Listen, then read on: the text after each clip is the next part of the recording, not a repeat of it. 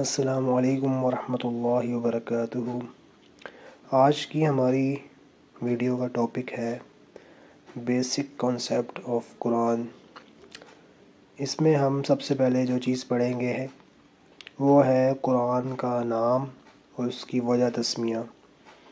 वजह तस्मिया का मतलब ये होता है कि नाम रखने की वजह, कि कुरान का नाम कुरान क्यों रखा गया।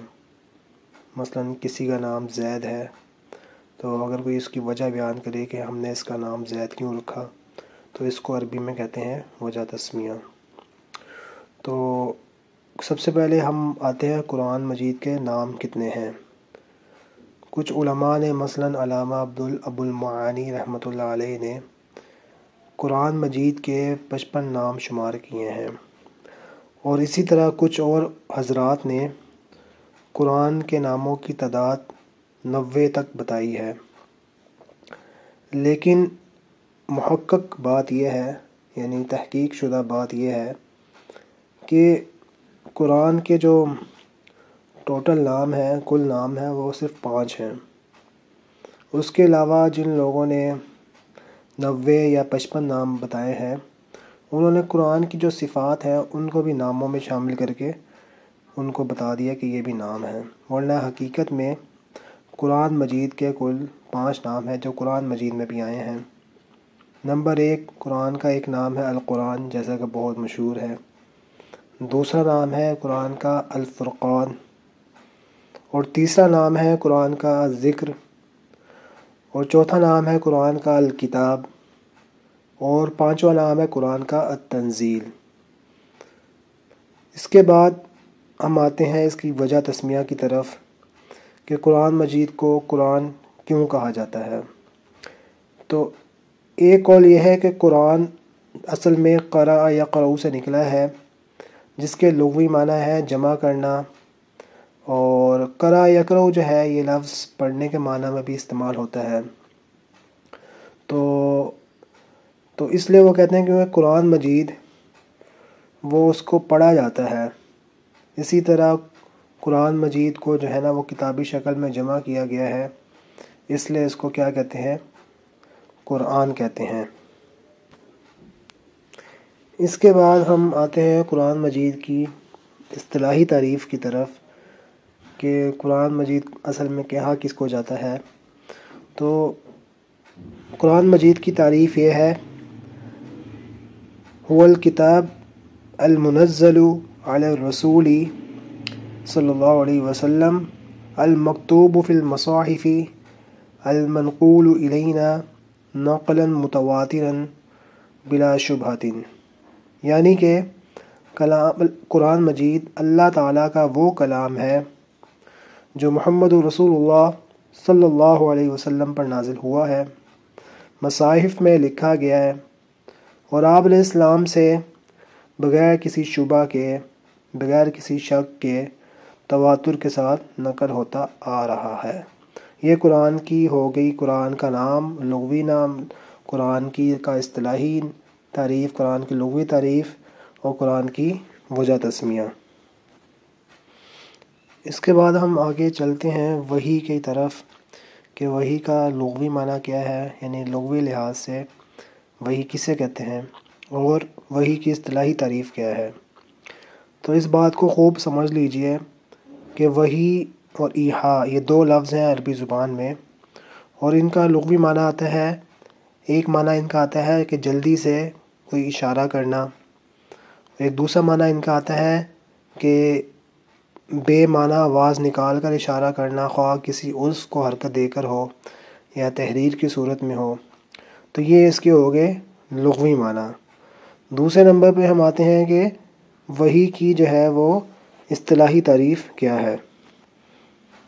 वही की असलाही तारीफ़ यह है कि कलामुल्लामुनज़ल नबी मिन अम्बिया कि वही अल्लाह ताला का वो कलाम जो उसके किसी नबी पर नाजिल हुआ हो, उसको वही कहा जाता है असलाही तौर पे। फिर इसके साथ साथ हमें ये बात भी जहन नशीन कर लेनी चाहिए, अच्छी तरह से अपने जहन में इस बात को बिठा लेना चाहिए कि वही का जो लफ्ज़ है, वो अब इतना एक माना में इतना मशहूर हो गया है उर्फ़ में कि अब वही से जो है ना कोई और दूसरा माना मुराद लेना ठीक नहीं है। यानी कि अब जब भी वही का लफ्ज़ बोला जाएगा तो सिर्फ़ अम्बिया आलम के लिए बोला जाएगा कि फ़लाँ नबी पर वही आती थी या फ़लाँ नबी पर वही आई थी। किसी आम बंदे के लिए वही का लफ्ज़ अब बोलना ठीक नहीं है। हाँ दूसरा जो लफ्ज़ है इहा, उसको जो है गैर नबी के लिए भी बोला जा सकता है, जैसे इल्हाम वगैरह के माना के लिए उसको इस्तेमाल किया जा सकता है। तो ख़ुलासा कलाम ये निकला कि वही वो ज़रिया है जिससे अल्लाह ताला अपना कलाम अपनी किसी, अपने किसी मंतखब बंदे और रसूल तक पहुँचाता है। और इस रसूल तक, ज़रिया तमाम इंसानों तक और इस रसूल के ज़रिए से अल्लाह ताला उस कलाम को तमाम इंसानों तक पहुँचाता है। अब चूँकि वही अल्लाह उसके बंदों के दरमियान मुक़दस तालीमी रबता की हैसियत रखती है, और इसका मुशाह जो है सिर्फ़ अम्बिया आलम ही को होता है, इसलिए हमारे लिए इसकी ठीक ठीक हकीकत का इदराक मुमकिन नहीं है। अलबत् वही की बहुत सारी अकसाम है जो इन इसके बाद मैं इस वीडियो में आपके सामने वो भी बयान करूँगा। इसके बाद हम आगे बढ़ते हैं कि वही की ज़रूरत क्यों है। तो वही की ज़रूरत इसलिए है कि देखें, अल्लाह ताला ने हर मुसलमान को दुनिया में आजमाइश के लिए भेजा है और इसके ज़िम्मे कुछ फ़रज़ आयद करके पूरी कायनात को इसकी खिदमत में लगा दिया है।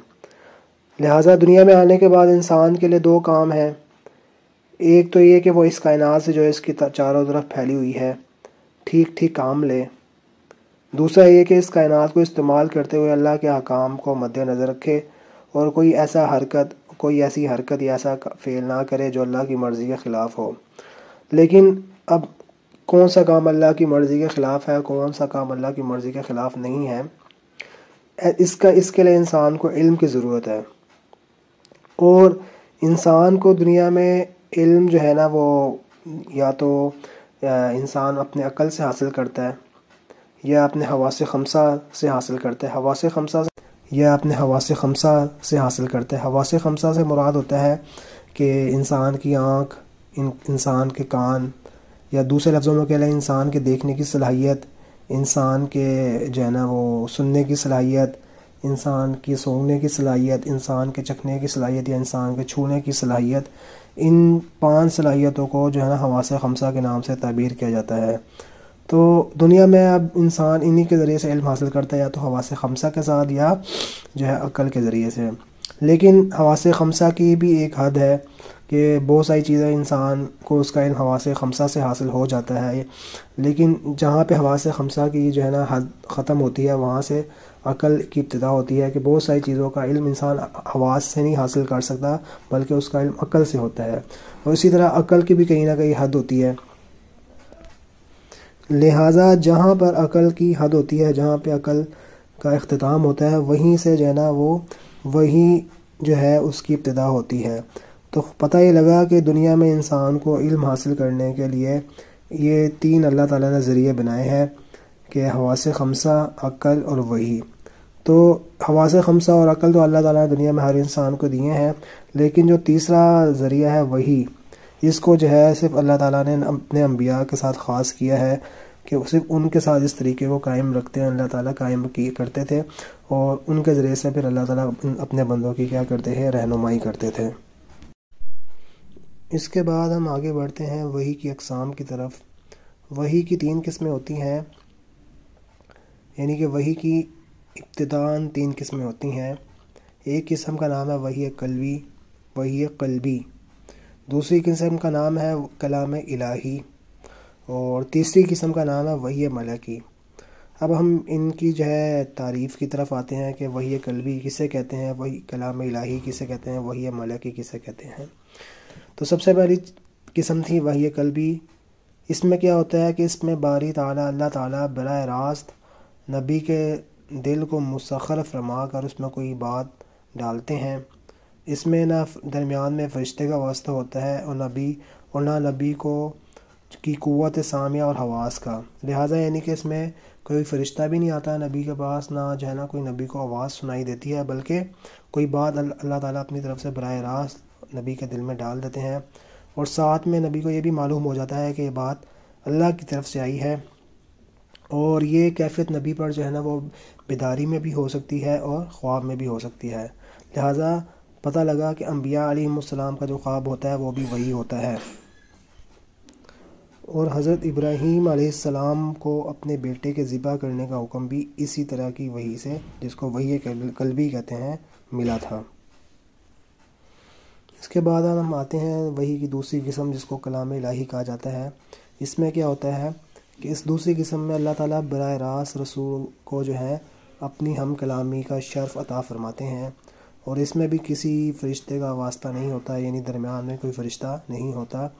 लेकिन इसमें होता यह है कि नबी को कोई आवाज़ सुनाई देती है और ये जो आवाज़ होती है मखलूक़ की आवाज़ से बिल्कुल जुदा होती है और उससे अजीब और गरीब कैफियत की हामिल होती है, जिसका असल इदराक जो है ना, सिर्फ़ नबी ही को हो सकता है, जिसने उस आवाज़ को सुना हो, कोई और नहीं कर सकता। तो वही की जो तीन किस्में उनमें सबसे, यानी कि ऊपर, यानी सबसे आला जो किस्म है वो यही है, क्योंकि इसमें बर रास्त अल्लाह ताला जो है नबी से ख़िताब करते हैं। जैसा कि मूसा अलैहिस्सलाम के बारे में अल्लाह ने कुरान में फ़रमाया है में वकल्लम मूसा तकलीमा, कि और अल्लाह ताला ने मूसा से खूब बातें की। तो हज़रत मूसा अलैहिस्सलाम को इसी वजह से क्या कहा जाता है? कलीमुल्लाह कहा जाता है। और वही की जो तीसरी किस्म है, उसका नाम वही अमल कि। इसमें क्या होता है कि इस तीसरी किस्म में अल्लाह ताला अपना पैगाम किसी फ़रिश्ते के ज़रिए से नबी तक भेजता है और वो फ़रिश्ता पैगाम पहुंचाता है। फिर बाज़ अवकात ऐसा होता है कि वो फ़रिश्ता नज़र आता है और बाज़ अवकात ऐसा होता है कि फ़रिश्ता नज़र भी आता है, उसकी आवाज़ भी सुनाई देती है, लेकिन बाद दफ़ा ऐसा होता है कि फ़रिश्ता नज़र नहीं आता, लेकिन उसकी आवाज़ सुनाई देती है। और बाज़ दफ़ा ऐसा भी होता है कि वो किसी की, किसी आम इंसान की शक्ल में भी आ जाता है, जैसा कि हज़रत दहिया कलबी रज़ील्ला एक साबित है हज़रत जब्राईल इस्लाम के बारे में आता है कि वो उनकी सूरत में भी आए थे। तो कुरान मजीद में भी इन, यानी कि हो सकता है किसी के जहन में ख्याल आए कि वही की तीन किस्म कहाँ से साबित है। तो कुरान मजीद की एक आयत है सतुशरा की आयत नंबर फिफ्टी वन है, उसके अंदर इनका ज़िक्र आ रहा है, इन तीनों वहीयों की किस्मों का। अल्लाह ताला फरमाते हैं अबिल्लाशैतरजीम माँ का नली बशरिन, कि किसी बशर के बशर के लिए जा, ये बात मुमकिन नहीं है। कि क्या? अयुकल्लिमहुल्लाहु कि अल्लाह ताला उससे बात करे, यानी आमने सामने बिल्कुल उससे अल्लाह ताला बात करे। हाँ अल्लाह, आगे अल्लाह ताला इस्तना फरमा रहे कि तीन सूरतों में अल्लाह ताला बात कर सकते हैं, किसी बशर से वो क्या है? इल्ला वाहयन, मगर ये कि दिल में बात डालकर। तो इल्ला वाहन के अंदर वही कलबी आ गई वाहन के लफ्ज़ के अंदर। दूसरा अवमी वरा हिजाबिन या पर्दे के पीछे से किसी पैगंबर यानी कि फ़रिश्ते को भेजकर। सही है? या पर्दे के पीछे से अव यूरसिला रसूलन या जो है, किसी फ़रिश्ते को भेज कर फ़यूह या बीद नहीं माशाऊ जो अल्लाह चाहे वही नाजिल कर दे। तो अल्लाह ताला ने कुरान मजीद में भी इन जो है, तीन किस्मों का यहाँ पे ज़िक्र फरमाया है।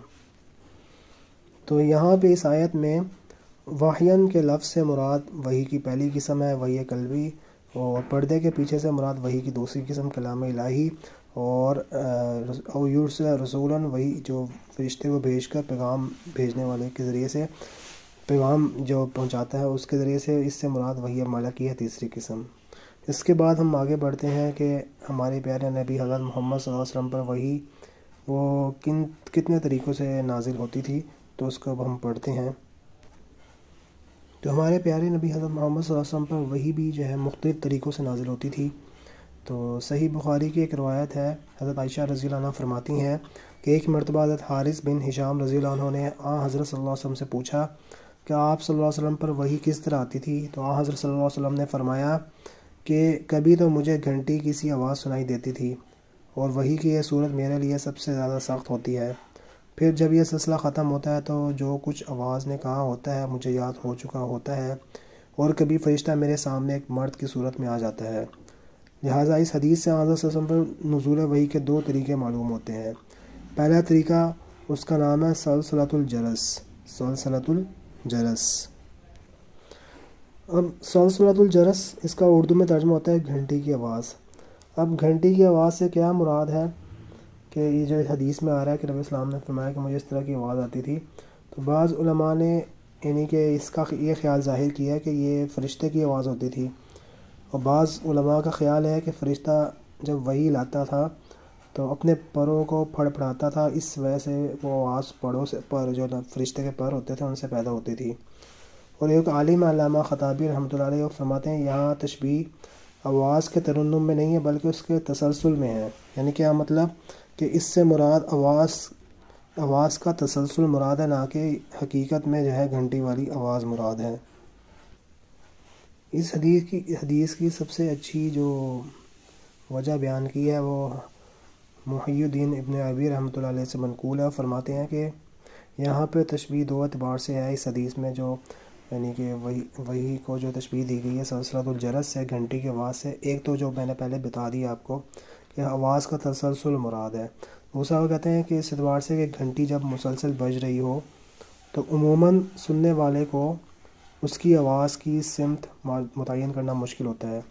तो क्योंकि वही की आवाज़ हर तरफ़ से, हर तरफ़ से आती हुई महसूस होती है और अल्लाह ताला चूँकि, यानी जहत से और मकान से पाक हैं, इसलिए अल्लाह ताला के कलाम की ये खसूसियत है कि उसकी आवाज़ किसी एक सिम से नहीं आती, बल्कि हर तरफ़ से आती है।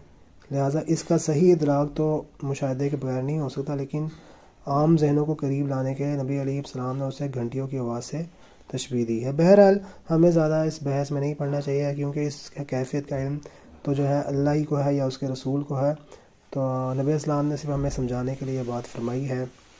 तो इसके अच्छा जी, इसके बाद है वही का दूसरा तरीका, जिस तरीके से नबी इस्लाम पर वही नाजिल होती थी। वो था कि फ़रिश्ते का अस, अपनी असली असली शक्ल में आना फ़रिश्ते का अपनी असली शक्ल में आना। हज़रत जब्राईसम का यानी अपनी असली शक्ल में नबी इस्लाम के पास आना एक ये तरीका भी था वही का। तो कहते हैं कि नबी इस्लाम के पास जब्राईसम तीन मरतबा अपनी असली शक्ल में आए थे। एक मरतबा तो नबी इस्लाम ने ख़ुद ख्वाहिश का इज़हार किया था कि मैं आपको आपकी शक्ल में देखना चाहता हूँ। और दूसरी मरतबा मराज जब नबी इस्लाम को मराज कराई गई तो उस मौके पर नबी इस्लाम ने हज़रत जब्राईसम को उनकी असली शक्ल में देखा और तीसरी मरतबा कहते हैं नबूत के बिल्कुल इब्तदाई ज़माने में। और इसके बाद वही का एक और तरीका जिस तरीके से नबी इस्लाम पर वही की जाती है, वो थे सच्चे ख्वाब। कि आप इस्लाम को कुरान के नाजिल होने से पहले सच्चे ख्वाब नज़र आते थे? कि नबी इस्लाम जो कुछ भी ख्वाब में देखते थे तो जब ख्वाब से बेदार होते हुए नहीं जागते थे तो आपकी लाइफ में जो थी बेदारी की हालत में वो वैसे ही हो जाता था। तो इसको कहते हैं रोया सौदिका। नबी इस्लाम पर जो है ना वो अल्लाह ताला ने एक कलाम इलाही की सूरत में भी वही भेजी थी। यानी जैसे मूसा इस्लाम से अल्लाह ताला फ़रिश्ते के वास्ते के बगैर बर रास्त हम कलाम हुए हैं तो हज़र हमारे प्यारे नबी इस्लाम से भी जो है अल्लाह ताला बेदारी की हालत में हम कलाम हुए हैं, वो मराज के वाक़े पे, जब नबी इस्लाम को मराज कराई गई थी तो नबी इस्लाम से अल्लाह ताला ने जो है बर रास्त भी कलाम किया है।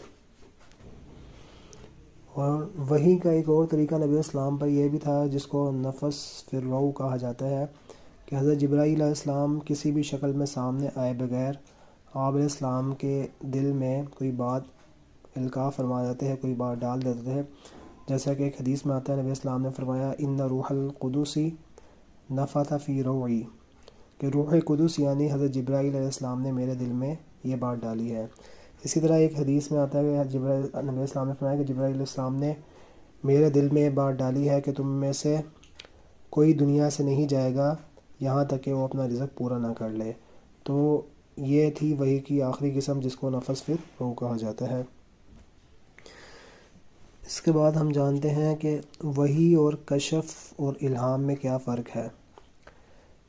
तो वही जो होती है, वो सिर्फ़ अम्बिया के साथ ख़ास है। यानी कि जो नबी नहीं होता, उसको वही नहीं हो सकती। खा वो कितना ही, जो है ना, कितना ही बड़ा वली क्यों ना हो। अलबत् बाज़ अवत ऐसा होता है कि अल्लाह ताला अपने कुछ ख़ास बंदों को कुछ बातें उनके दिल में डाल देता है तो उसको हम कशफ कह सकते हैं या इल्हाम कह सकते हैं। तो कशफ किसे कहते हैं और इल्हाम किसे कहते हैं, दोनों में फ़र्क है। इल्हाम ये होता है कि किसी अल्लाह के वली के दिल में कोई बात अल्लाह ताला डाल दें और तो उसको इल्हाम कहते हैं। और कशफ ये होता है कि कोई नेक बंदा है, उसको अल्लाह ताला कोई चीज़ या कोई वाक़ उसकी आँखों उसकी आँखों के सामने दिखा दें, इसको कशफ कहा जाता है। तो अब क्योंकि जो वही की आखिरी किस्म मैंने बयान की, जिसको नफस फिर कहते हैं कि अल्लाह ताला दिल में नबी का कोई बात डाल देते हैं तो वो उससे इल्हाम के यानी कि वो करीब है, उससे कशफ वाले माना के भी करीब है। लेकिन हकीकत में जो है, इन तीनों में फ़र्क है, क्योंकि पहले बता दिया कि जो वही होती है, वो सिर्फ़ नबी को होती है। और उसमें, उसका ख़ासा ये होता है कि वो नबी के दिल में जब अल्लाह ताला कोई बात डालते हैं तो नबी को पता लग जाता है, यकीनी तौर पर मालूम हो जाता है कि ये बात अल्लाह ही ने डाली है। लेकिन के, लेकिन जो इल्हाम होता है या कशफ होता है, वो यकीनी चीज़ नहीं होती। इसी वजह से जो नबी के दिल में अल्लाह ताला कोई बात डाल देते हैं तो वो वही कहलाती है, क्योंकि वो यकीनी होती है कि अल्लाह की तरफ़ से इसलिए उसका अमल करना ज़रूरी होता है उम्मतियों के लिए भी, क्योंकि नबी ने बताया होता है बाद में। तो जो इल्हाम या कशफ होता है, वो गैर यकीनी चीज़ होती है, लिहाजा इसलिए वो अगर कोई बताता है कि मुझे इल्हाम हुआ या कशफ हुआ है तो किसी और के लिए उस पर अमल करना ज़रूरी नहीं होता क्योंकि वह यकीनी चीज़ नहीं होती कि ये अल्लाह ही की तरफ़ से बात हुई है। ये फ़र्क है इन तीनों में। अच्छा जी, ये तो हो गए थे वही के तरीके के किन तरीक़ों से नबी इस्लाम पर वही आती थी। इसके बाद हम अगले टॉपिक की तरफ़ आते हैं, वह कि नबी इस्लाम पर जो वही आती थी तो वही जो आती थी उसकी कितनी किस्में हैं? तो उसकी उलमा ने दो किस्में बयान की हैं। एक को कहा जाता है वही मतलूब और दूसरी किस्म को कहा जाता है, वही है गैर मतलूब, यानी वाव पर शत पढ़ेंगे तो अब इसको हम जानते हैं कि वही मतलूब का क्या मतलब है, और वही है गैर मतलूब का क्या मतलब है, यानी किसे कहा जाता है। तो वही मतलूब से मुराद ये है कि कुरान मजीद की जो आयात हैं, कुरान मजीद की जो आयात हैं, इसको जो है ना क्या कहा जाता है, वही है मतलूब। मतलूब का मान होता है कि जिसकी तिलावत की जाए। तो क्योंकि कुरान मजीद ही है, जिसकी तिलावत की जाती है तो उसको क्या कहा जाता है? वही मतलूब। तो कुरान मजीद की जो आयात हैं, उसके अल्फाज और उसके मानी, इसके बारे में क्या हम यानी कि हमारा अकीदा है कि ये दोनों अल्लाह की तरफ़ से नाजिल शुदा हैं। यानी कुरान मजीद के अल्फाज भी, कुरान मजीद के माना दोनों अल्लाह की तरफ़ से नाजिल हुए हैं और जो कुरान में हमेशा के लिए इस तरह महफूज कर दिए गए हैं कि इनका एक नुक्ता भी नहीं बदला जा सका है और ना बदला जा सकता है। लिहाजा इसको कहते हैं वही उलमा के इस्लाम में वही मतलूब यानी कि वो वही जिसकी तिलावत की जाती है। दूसरी किस्म वही की है जिसको वही गैर मतलूब कहा जाता है। यानी वो वही जिसकी तिलावत नहीं की जाती। उससे मुराद सही अहादीस हैं। वही मतलूब से, गैर मतलूब से मुराद क्या होता है? सही अहादीस हैं। अब देखें इस बात को समझ लीजिए कि कुरान मजीद जो है ना, कुरान मजीद में जो इस्लाम के जो है ना उसूली अकायद और बुनियादी तालीमत पर जो है ना और उनकी तशरीहत पर इतफ़ाक़ किया गया है। लेकिन इन तालीमत की जो तफसील है और जज्वी मसाइल जो कुरान मजीद में, यानी मुख्तसर तौर पर जो कोई मसला बयान हुआ है, उसकी तफसील जो है ना वो वही गैर मतलूब के ज़रिए की गई है, यानी अदीसी अदीस की शक्ल में। तो मतलब यह है कि वही गैर मतलूब हम दूसरे लफ्ज़ों में हदीस का नाम है, क्योंकि अब इसमें ये होता है कि फ़र्क क्या हो गया कुरान और हदीस में, कि कुरान में ये होता है, कुरान के अल्फाज माना दोनों अल्लाह की तरफ़ से हैं और उनकी तिलावत की जाती है नमाज़ में। लेकिन वही गैर मतलूब में क्या होता है, कि वो भी वही होती है, उसमें ये होता है कि मजामी वही के ज़रिए से आबलाम के के ऊपर नाजिल किए जाते हैं। लेकिन उन मजामी को तबीर करने के लिए नबी इस्लाम अपने अल्फाज का इंतखब करते हैं तो उसको इसलिए कहा जाता है वही गैर मतलब क्योंकि एक तो उनकी नमाज़ में तलावत नहीं की जाती, लेकिन वो वही होते हैं। जैसा कि एक हदीस में से ये एक हदीस के ज़रिए से बात हमारी साबित हो सकती है। नबी इस्लाम ने फरमाया कि ऊतीरक़ुरान व मिसलहू माहू। कि मुझे कुरान भी दिया गया है और इसके साथ इस जैसी दूसरी तालीमत भी। लिहाजा वमिसलाहू वमिसलाहू माहू से मुराद क्या है? इससे मुराद जो है ना उलमा ने वही गैर मतलू यानी अहदीसी को लिया है। वही गैर मतलूब की हम एक दलील कुरान मजीद से आपके सामने पेश करते हैं। देखें, कुरान मजीद में अल्लाह ताला फरमाते हैं सूरतबकरा आयत नंबर 143 में आउज़बिल्लिमिनशैतानरजीम वमा जअलनलक़िबलतल्लती कुन्त अलैहा इल्ला लिनअलम मन यत्तबिउर रसूला मिम्मन कलिबु अला तर्जमा यह है, और जिस किबला की तरफ़ आप वसल्लम पहले रुख करते थे, इससे हमने सिर्फ़ इसलिए मुकर किया था ताकि ये जान लें कि कौन रसूल की इतबा करता है और कौन अपनी एड़ियों के बल पलट जाता है। अब देखें यहाँ पे वमाज, इस आयत में वमा जान क़िबलती कुनता है इस आयत से मुराद जो है ना, वो कौन सा किबला है? वो बैतुलमक़दस है।